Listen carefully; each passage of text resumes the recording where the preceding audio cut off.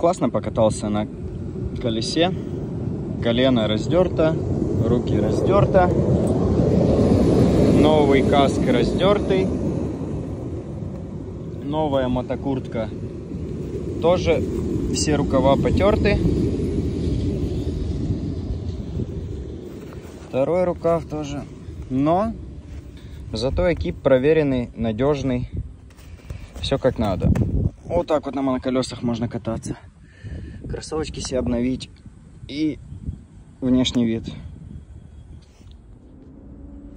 МЦ-М5. Максимальная скорость на 40% батареи. Вес райдера 65 килограмм.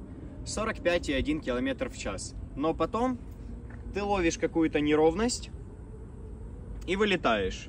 Из недостатков э, не хватило экипа коленей, но мотокуртка отработала отлично. Вот, кожа протерлась с этой стороны. Шлем тоже отработал классно. Вот маленький чирк и визор.